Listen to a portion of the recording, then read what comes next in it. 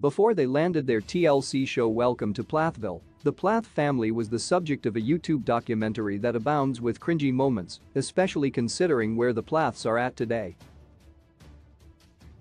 Though the Plaths started out as an ultra-religious, conservative family, by Welcome to Plathville Season 4, they had changed tremendously.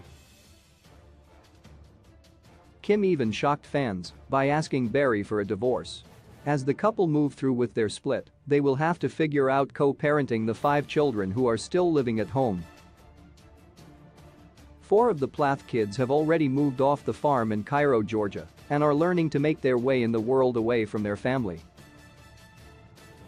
Hosanna Plath declined to be involved with Welcome to Plathville and lives in Ohio with her husband.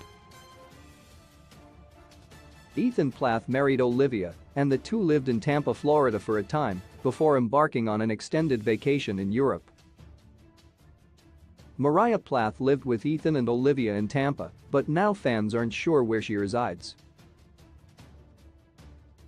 Micah Plath, meanwhile, moved to Los Angeles to pursue a modeling career. But these are all new developments, and five years ago the Plaths were very different.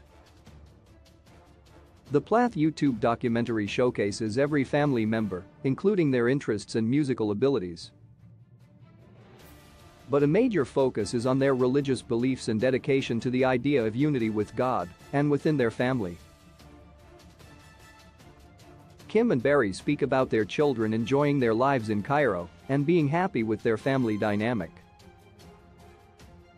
However, as fans know, many of the Plath kids are still working through the trauma from their childhood. But despite the problematic elements of the documentary, there are many moments that make Welcome to Plathville fans chuckle and cringe. The Plath family band Kim and Barry spend a lot of time during the documentary talking up their family's musical talent, but many fans aren't convinced that the kids are actually that talented.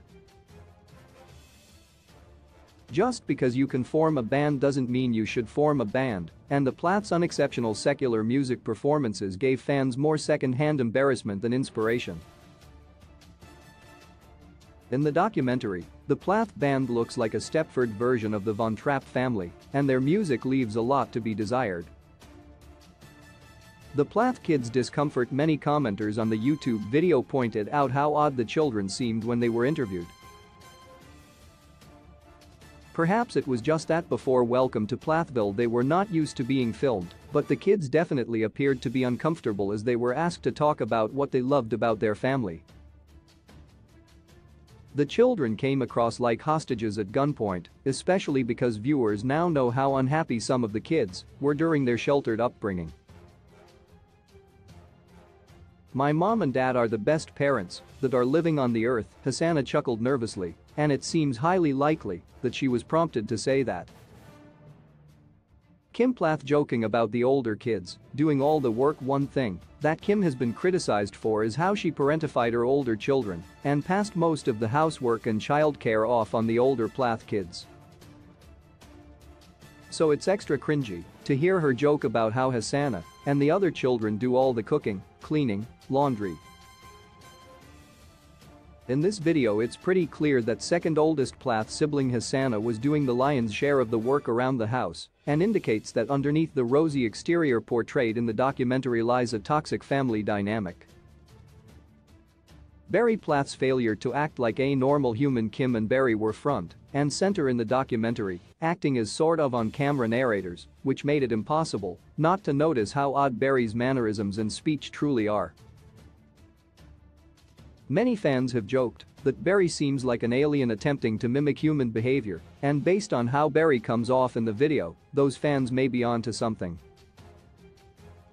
Between his strange pauses and inflection and oddly joking demeanor, there's always been something about Barry that feels off, and it's even more obvious in the Plath family documentary. Kim Plath's wild claims it's understandable that Kim would want to talk up her children and make the documentary interesting at the same time, but Kim gives several comments that sound 100% fake. While talking about Moriah, Kim claimed that her daughter has such a talent for music that one time she was singing in her sleep. Sure, there's sleep mumbling, but sleep singing? Doubtful. Kim also commented on her daughter Amber's love of math and claims the little girl once said, I would rather do math than eat cake. It's hard to believe that any child anywhere would ever make that statement. However, any baked goods in the Plath home were made with honey and not sugar, so perhaps the cake that Amber spoke of isn't very compelling. Talking about Ethan Plath's love of cars in Welcome to Plathville Season 4, Ethan confronted Kim about the trauma he is still working through from his childhood and how he wasn't prepared for the outside world. Specifically, Ethan pointed out that he never got a real education due to his subpar homeschooling. Ethan was truly put at a disadvantage, so it made fans cringe hard watching the documentary because Barry and Kim go on and on about Ethan's love for cars. Ethan's parents indulged his interests, though because they were the adults, it was their job to make sure he received a proper education, even if he was resistant to it. Barry Plath talking about the enemy after a sweet segment talking about their youngest daughter Mercy Plath. Barry takes a hard right turn and starts talking about the enemy. As a Christian the first understand that I have an enemy, Barry commented. The Bible calls him the prince of the power of the air Satan, and he is the one who doesn't like family. This train of thought is a massive tonal shift from the rest of the documentary, and it starts to feel a little cult-like. It's as if the Plath family lured viewers in with their sweet kids and then, wham, hit them in the face with dogma, and it's a true record scratch moment. The Plath family unity at times, it seems like this documentary was brought to you by the word unity because Kim and Barry spout off about family unity throughout the entire video. The words family, unity, harmony even appear on screen at the beginning of the documentary as a sort of unofficial Plath family motto. But the focus on unity and togetherness has made this video age like milk because at the end of Welcome to Plathville Season 4, the family is more divided than ever.